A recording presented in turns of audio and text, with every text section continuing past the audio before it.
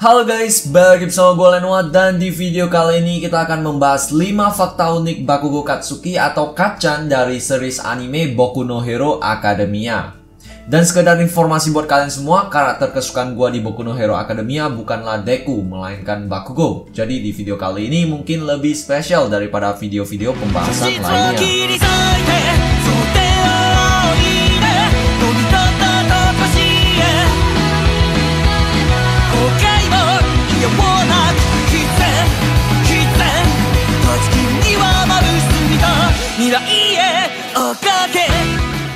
Bakugo adalah siswa dari sekolah Yue Koko atau high school dengan tinggi 172 cm.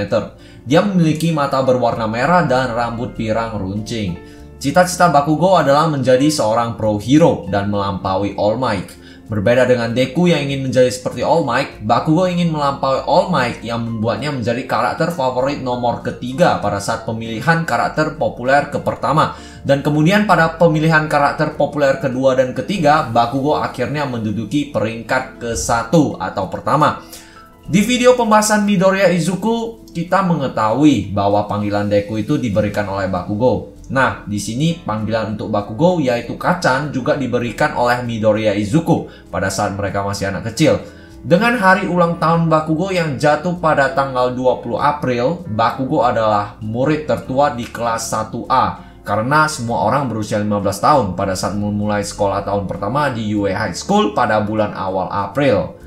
Pada awalnya karakter Bakugo dibuat sebagai seorang yang terlahir jenius, baik hati, dan karakter pemberani yang berbicara tanpa berpikir terlebih dahulu.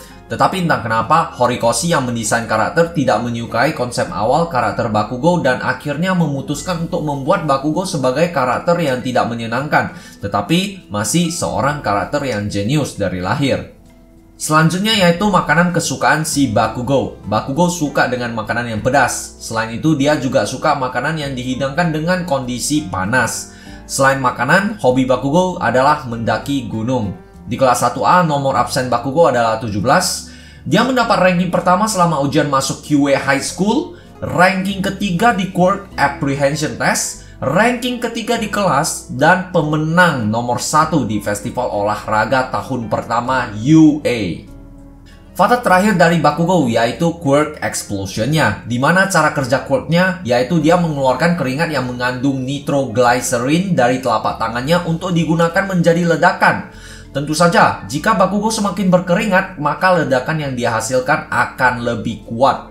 Pada saat Kacan dilatih oleh Best Genius, dia mengatakan bahwa Kacan memiliki pemahaman yang kuat tentang cara untuk memakai quirknya.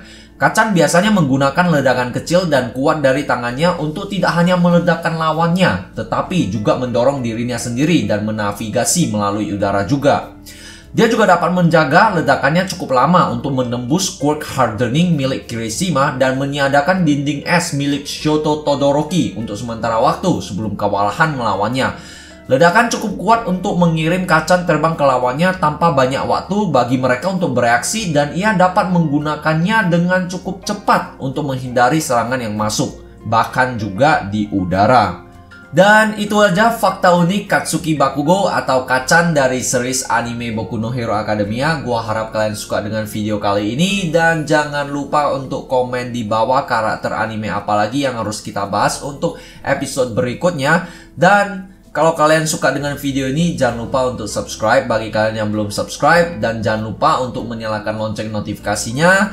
That's it for this video and as always, I'll see you guys in the next video.